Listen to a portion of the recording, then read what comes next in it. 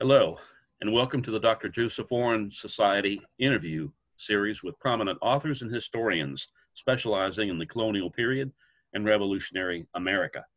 My name is Randy Flood, and today I'm joined by my colleague, Christian Di Spigna, author of The Founding Martyr, The Life and Death of Dr. Joseph Warren, the American Revolution's Lost Hero. Now, this presentation is brought to you by the Real American Revolution public television series and the American Revolution Consortium for Civic Education. So, Christian, let's get things underway by introducing our guest. Thanks, Randy. Colin Nicolson of the University of Stirling is a leading expert on the imperial crisis of 1765 to 1776 on the eve of the American Revolution. He is the editor of the papers of Francis Bernard, six volumes, and the author of The Infamous Governor, Francis Bernard and the Origins of the American Revolution, published in 2001, and also articles on the Massachusetts Loyalists. Recently, he co authored the first book length study of the onset of the revolution through the prism of friendship. Imaginary Friendship in the American Revolution, John Adams and Jonathan Sewall, 2019. Currently, he is finishing work on the sixth volume of the Bernard Papers, which presents the official and private correspondence of Massachusetts Royal Governor Sir Francis Bernard upon his return to England in 1769 until his death in 1779, documenting his attempts to influence British colonial policy. Upon completion of the sixth volume of the Bernard Papers, Colin will commence work on a new book project examining John Adams' diplomatic mission to Great Britain in the 1780s and British attempts to undermine the independence of the fledgling United States. Colin, welcome to the show. Hello, and, and uh, nice to meet you both. And uh, yes. thank you very much for the invitation. We appreciate it. Now, let me just start with this. How, how do we pronounce his last name? Is it Bernard, Bernard? Well, uh, uh, the governor himself pronounced his surname Barnard. Barnard.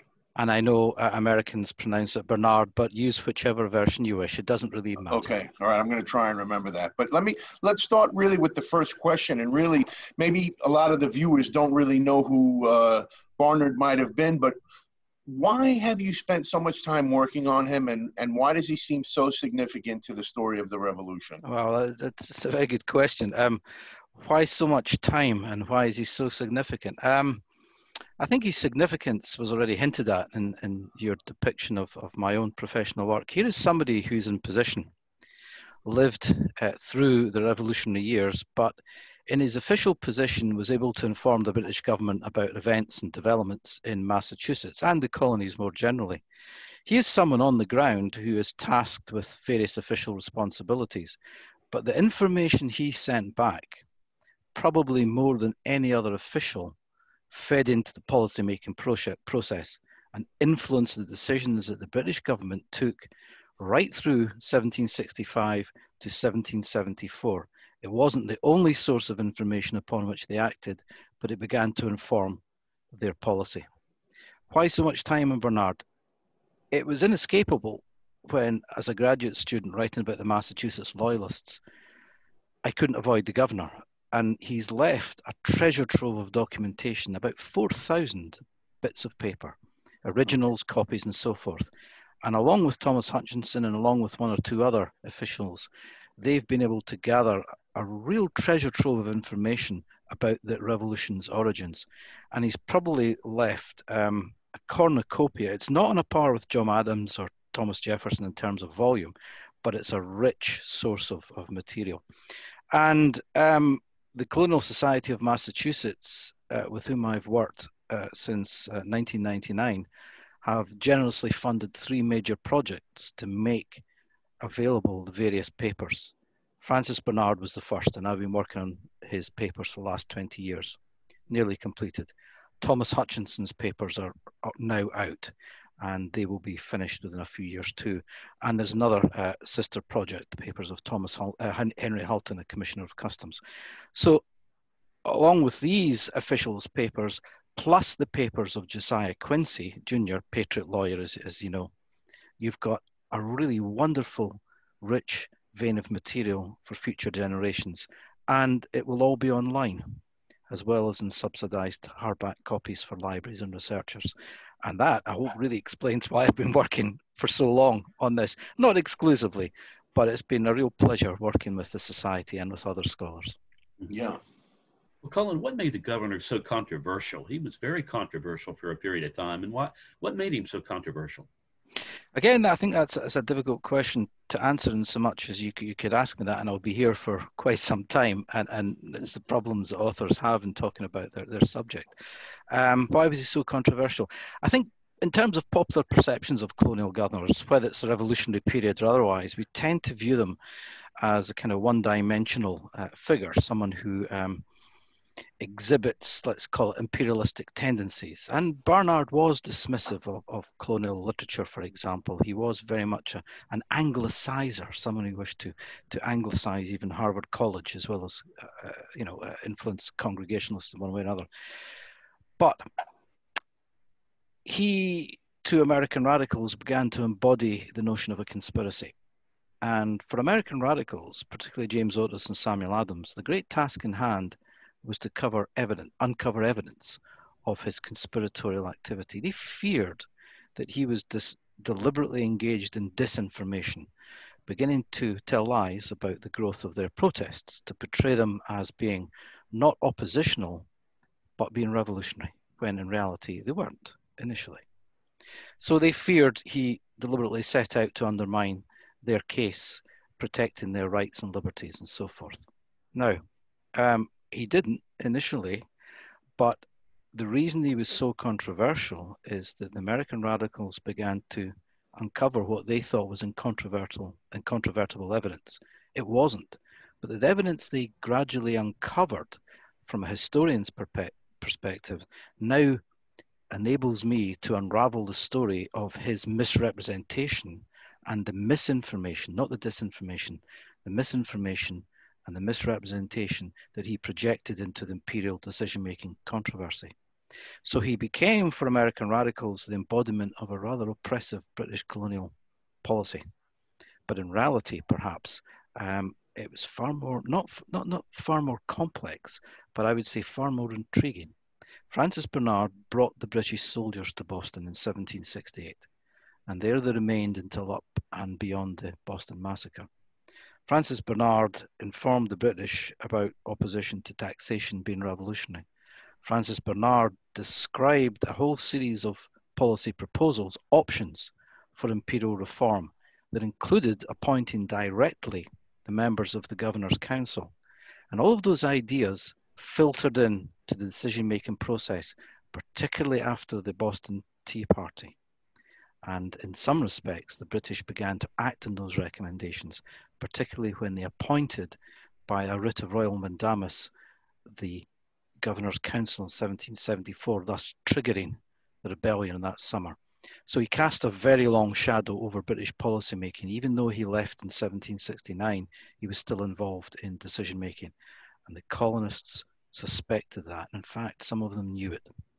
Now, um, I'll come back later if you want to talk about how his correspondence as a source was taken up by Parliament. But why was he so controversial? The colonists feared he was out to get them, and he was.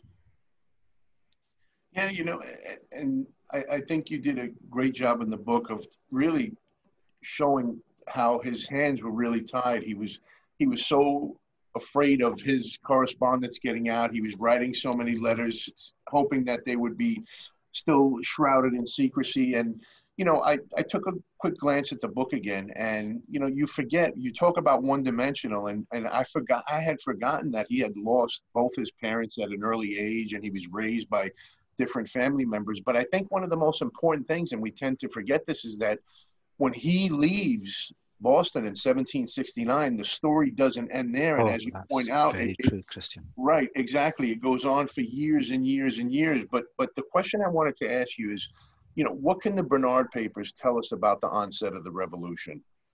Well, first you can you can see the portrayal of radicalization that's occurring in Boston in particular. Um, colonial um, elites would not naturally think of themselves as being political radicals. And I think your book, in particular of, of Joseph Warren, you, you, could you could say similar things about others, but not that many are rather different because I think you made the persuasive case that Warren is far more radical than others. Uh, early on, we don't know in some cases for sure what Samuel Adams may have thought, but um, aside from that, he's beginning to portray the body of opposition to his administration has been as a group that's becoming radicalized. So in that sense, we can we can trace that in the Barnard papers fairly well. James Otis is usually the um, the main target of his anger, and increasingly so Samuel Adams. A second thing I would say would be we gather as we might expect to gather the information about the debates in public forums, in the assembly, in the town meetings, and so forth. So again, it's a useful source of information for plotting that. But the third thing, I think I was struck early on by his depiction of colonial crowds and protests, notably in the Stamp Act riots. He describes the second Stamp Act riot as being an instance of a war on war of plunder. It's a very class conscious view of, of crowd action in the 18th century. And his depiction of the second riot, the destruction of Thomas, Thomas Hutchinson's house, that arrived in London before his account of the, the milder, shall we say, riot that involved the attack on Andrew Oliver's house. That meant that the British government was receiving these accounts, not that didn't allow them a modular response. They received this emotionally driven, very dramatic depiction of a riot that led them to fear that Boston in 65 was on the verge of insurrection. And it wasn't, of course. But it even led the British cabinet um, until October, mid October, to think about sending troops to Boston. And thankfully, they did not.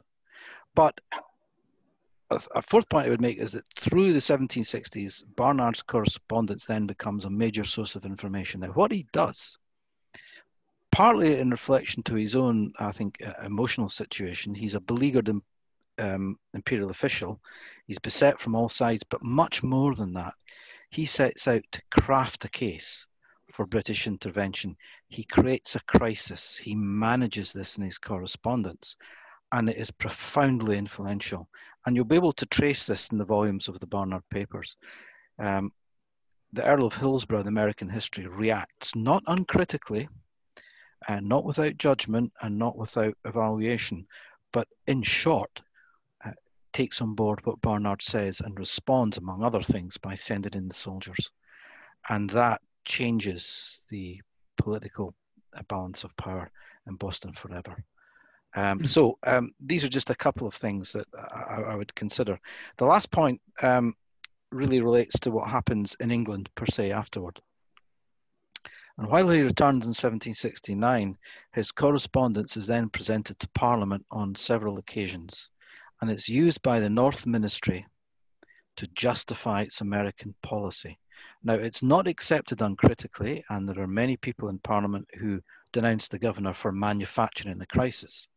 But the sense of crisis that he projects into um, how the British will view American affairs is something that will now become influential and will continue to run through uh, British perceptions of America. Um, and we can now document all that, not for the first time, but document it comprehensively for the first time. It's a dialogue involving Barnard, the colonists, and British policymakers. And it's been a lot of fun, by the way, over the years. Colin, okay. you just may have answered my last question. I was going to ask you what's the most important takeaway from your tremendous amount of research that you've done on the governor? You know, what uh, what should viewers know and understand about him? Well, you can view a policymaker um, in London with, I suppose, some detachment now. But when you drop into Boston in 1765 and read the revolution as it's unfolding, uh, and it's well, the early years, pre-revolutionary years, as they're unfolding, you're aware of of the um, the sense of isolation, the sense of crisis that this official has. He's worried on all sides. He's worried that the British are, are unresponsive. He's worried that the Americans are out to get him. And he is a governor with no real power. Governors don't have political power all they have is influence. And they have to negotiate the imperial presence. Imperial power always has to be negotiated. And in Francis Bernard, we can see a failure to negotiate that imperial power. The colonists were not revolutionaries in 1765. And I'm not suggesting that Francis Bernard or any other official uh, provoked them to become so. Um, but we can see in his correspondence the revolution as unf- uh, the pre-revolutionary years as it unfolds. It's transforming from an oppositional movement into a radical movement, and by 1774, long after he's left, that's the moment when in Massachusetts opposition and resistance will give way to revolution. So he deals with these first two phases, shall we say, of that process of uh, that will unfold in the American Revolution. Well, Christian Man, I- Nicole, that looks like all the time we have today for the interview. Uh, thank you so much for taking your time. Well, listen, it's been an absolute p- pleasure, gentlemen, and uh, anytime. Hey, we really appreciate you taking the time to talk with us about Governor Barnard, and uh, uh, we hope to have you back. I know you're working on the new projects, and I'm excited to read the, about the research and your insight. And and I, I just have to say before we go, I really think that your book filled an important void in in in, in the history of the pre-revolution. As you as you as you mentioned, this is the pre-revolution, and you really start to see things unfold in this 10-year period. So I really wanted to thank you for that. And uh, you know, we hope uh, the the viewers have enjoyed another in a series of Dr. Joseph Warren Society interviews with authors and historians. I, again, Colin, thank you so much, and I really appreciate your scholarship on this period. Thank you, and look after yourselves, gentlemen, and uh, good luck with your future endeavours. Thank Hey, you. well, folks, on behalf Pleasure. of Christian Di Spigna, myself, and Colin Nicolson, thanks for watching. Uh, we'll see you next time on the Dr. Joseph Warren Society interviews. All right. Press the zoom button leave now?